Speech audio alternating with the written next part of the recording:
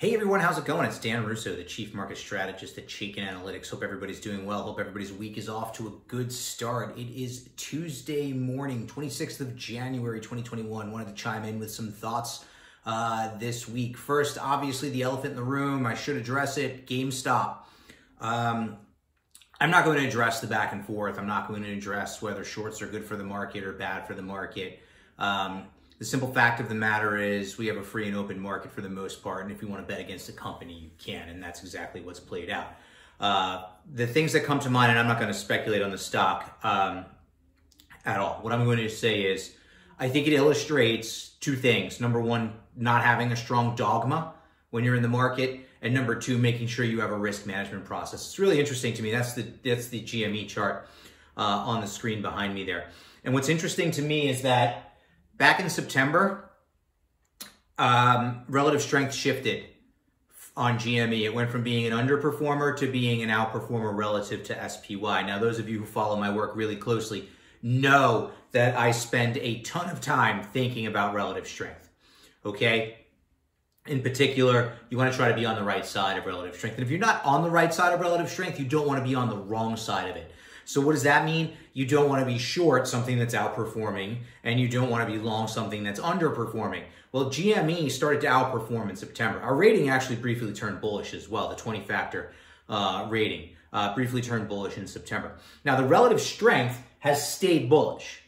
So if you were short GME and just paid attention to relative strength, that could have been a solid risk management tool to get you out of that trade.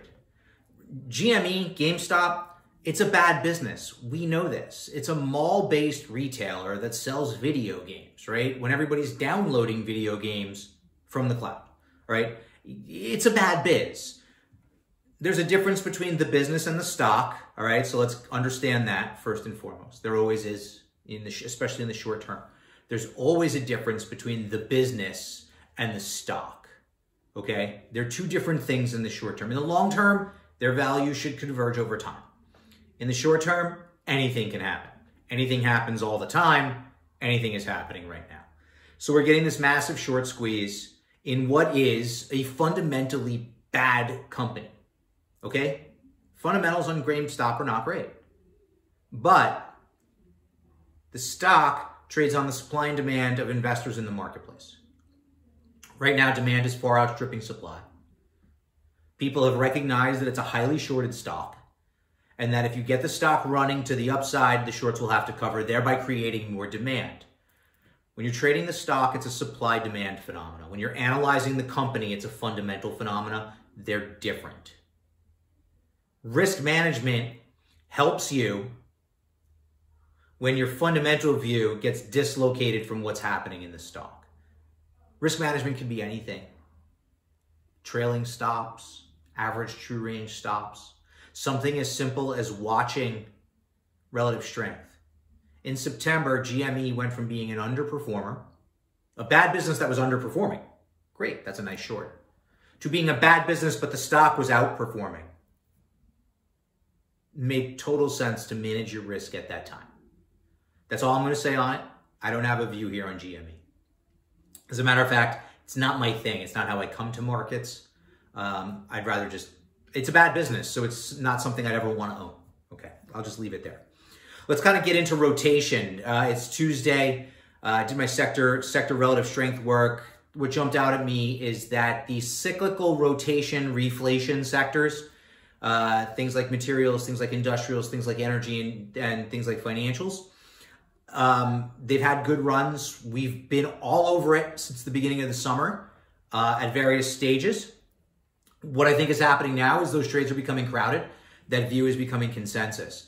And last week we started to see tech and comm services catch a bit again as money rotated out of the crowded cyclical groups back into the secular growers uh, like tech and communication services. Thank you, Netflix, potentially for sparking that. The Netflix earnings report, uh, in particular, their commentary about sub numbers and free cash flow, uh, were catalyst for the mega cap growth theme to come on strong last week. This kind of gets to my view that having a balanced approach to the market makes the most sense right now. Being in a little bit of everything. Because while you're playing the cyclical rotation game, the secular growers are lagging.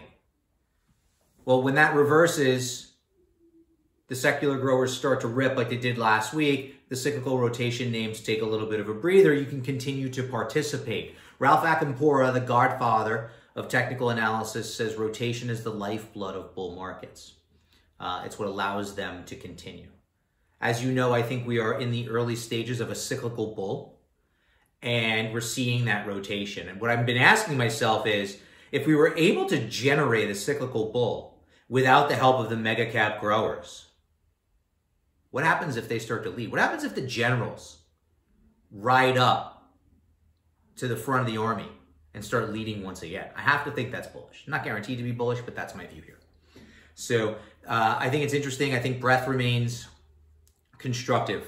In the very short term, overbought, oversold, our indicators that we use across the board, SPY, IWM, and Qs are all overbought. I think you want to use that to calibrate your aggression levels, i.e. dial them back is how I view it. Um, ideally, what we want to see is oversold above support within the context of an uptrend. Get aggressive in market leadership. Solid companies that are outperforming the market. So those are my views on a Tuesday. Hope everybody's well. Hope everybody's staying safe. I will be back to you soon with some updated thoughts.